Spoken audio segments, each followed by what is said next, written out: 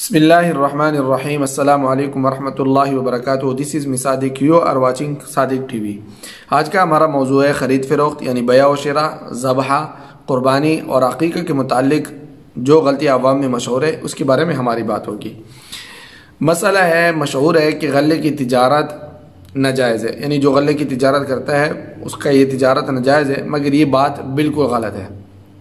بلکہ یہ تب ناجائز ہے جب قحط کی ایسی حالت ہو کہ جب غلے کی قیمت یعنی غلہ قیمت سے بھی دستیاب نہ ہوتا ہو اور مخلوقات کو تخلیق، تکلیف ہونے لگے خلق خدا کو تکلیف ہونے لگے، تو ایسی صورت میں غلے کا روکنا حرام ہے۔ یعنی آپ نے اس وجہ سے روکا ہوا ہے کہ بھائی اس کی قیمت اور مانگ بڑھے گی تو ہم میں نکال لوں گا، تو یہ حرام ہے۔ ویسے غلے کی تجارت کرنا حرام نہیں ہے۔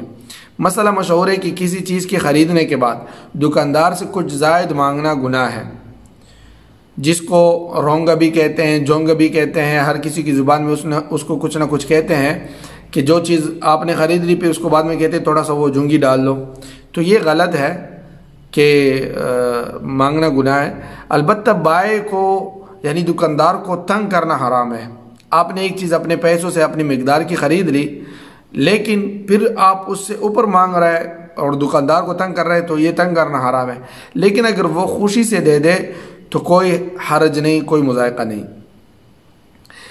مسئلہ ہے، یہ زمینداروں کو کہتے ہوئے سنا ہے کہ پل آنے سے پہلے باغ کا بیچنا ویسے تو درست نہیں۔ یعنی وہ خود بھی اس بات کو مانتے ہیں کہ پل آنے سے پہلے باغ کو بیچنا درست نہیں۔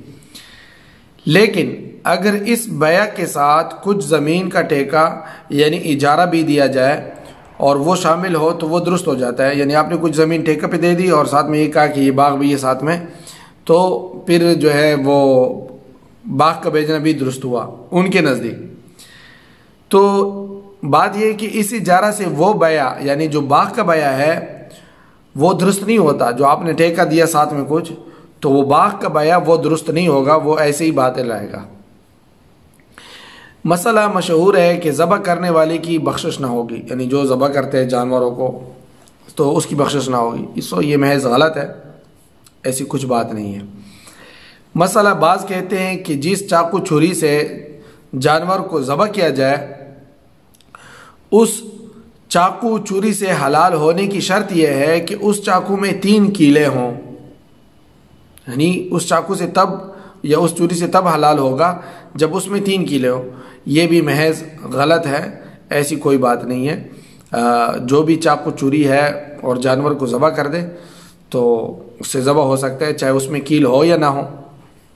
کسی نقدار چیز سے بھی آپ نے جو ہے جانور کو ذبح کر لیا، نہ وہ چوری ہے نہ چاقو ہے، لیکن وہ تیز ہے، تیز دار ہے اور اس سے وہ، اس کی ساری رگی کٹ گئی۔ تو بھی جانور حلال ہے اور ذبح صحیح ہے۔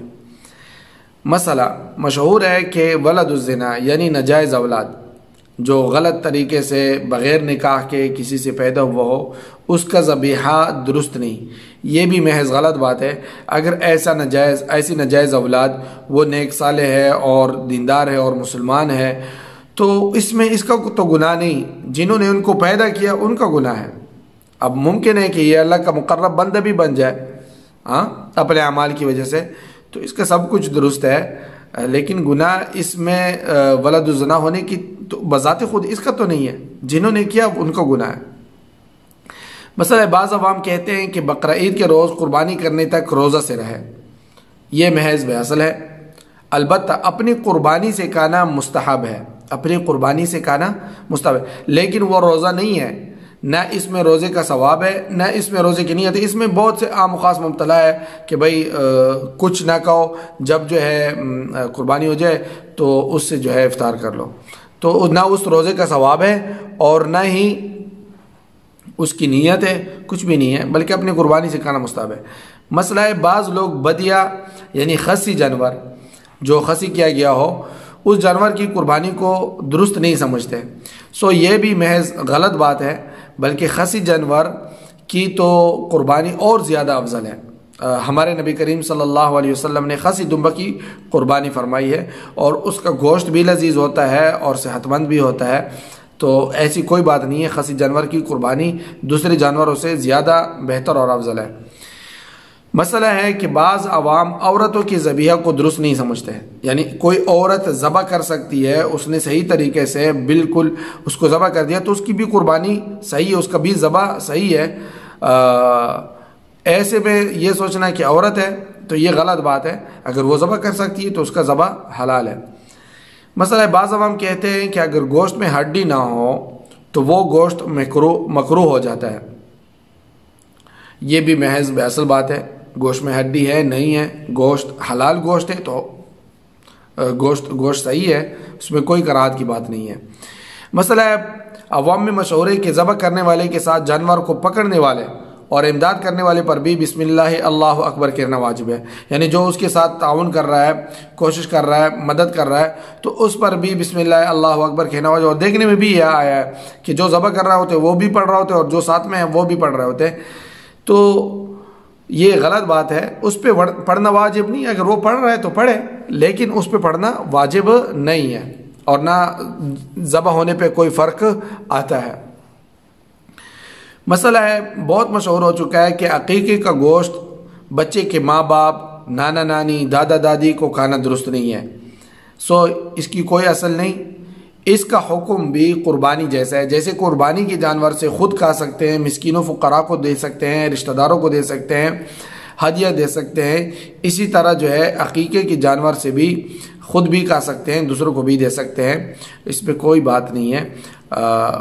آرام سے قائم اور مزے سے قائم مسئلہ، بعض لوگ سمجھتے ہیں کہ اگر ذبح میں مدد کرنے والا یعنی جانور کی ذبح کرنے میں مدد کرنے والا، مثلا جانور کو پکڑنے والا کافر ہو تو ذبح حلال نہیں سمجھا جاتا۔ سو یہ سمجھنا بالکل غلط ہے، بلکہ غیر مسلم کے ذبیحہ بھی حلال ہوتا ہے اگر وہ غیر اللہ کے نام سے ذبح نہ کرے۔ یعنی اگر وہ اسلامی طریقے سے اللہ کا نام لے کر اس کو ذبح کر دے تو اس کا بھی ذبیحہ حلال ہے۔ تو چہ جائے کہ جب وہ بیچارہ مدد کر رہا ہے اور ذبح کرنے والا مسلم ہے تو اس ذبح میں کوئی بھی بات نہیں ہے، ذبح بالکل صحیح ہے۔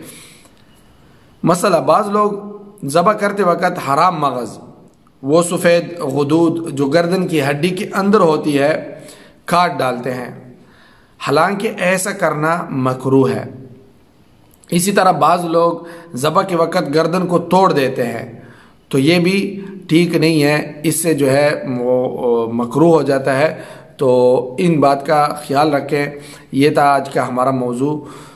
دوستو صادق ٹی وی کو سبسکرائب کرنا مت بولیے ویڈیو کو لائک کرے شیئر کرے اور کمنٹ سیکشن میں اپنے رائے کا اظہار ضرور کرے اگر کوئی آپ نے مسئلہ پوچھنا ہے تو کمنٹ میں پوچھے اس سے یہ ہوگا کہ جو دوسرے دیکھنے والے ہیں، ان کو بھی فائدہ ہوگا آپ کے سوال کا۔ ممکن ہے کہ آپ نے جو سوال کیا تو دوسرا بھی ایسے ہی سوال کرنے والا ہو۔ تو انشاءاللہ ہم ممکن کوشش کریں گے کہ آپ کو صحیح دلیل کے ساتھ اور آسان انداز میں اس کا جواب دیا جائے۔ ملتے ہیں پھر کسی ایک اور ویڈیو میں۔ السلام علیکم ورحمۃ اللہ وبرکاتہ۔